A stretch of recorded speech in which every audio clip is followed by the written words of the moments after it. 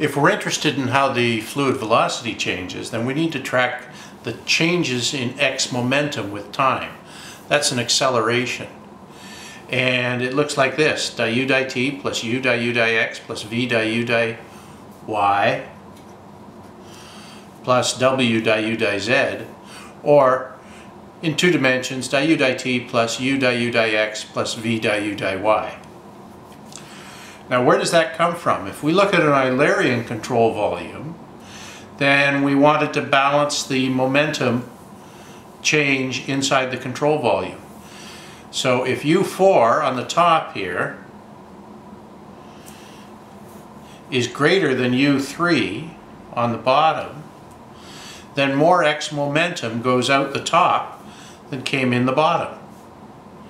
And it was carried in through the bottom and out through the top by the y component of velocity, even though it was x momentum that we were talking about.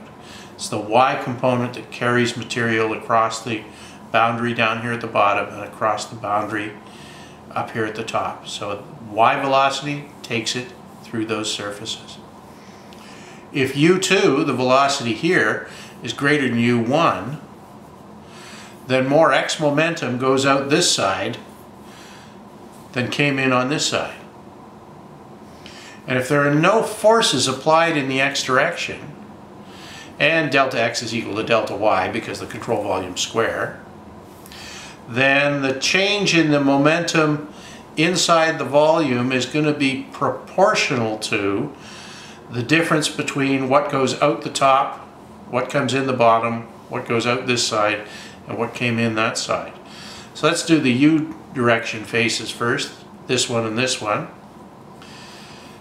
What came in this side? Well, it was the u velocity times delta t, that's how far the flow went this way, minus the u velocity times delta t, that's the amount of stuff going out that side, times the velocity that it came in with or went out with. This is the momentum that that flow carried with it.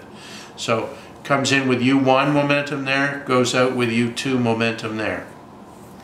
Likewise, for flow going in this direction, the V velocity carries some stuff in the bottom with U3 momentum, carries some stuff out the top with U4 momentum.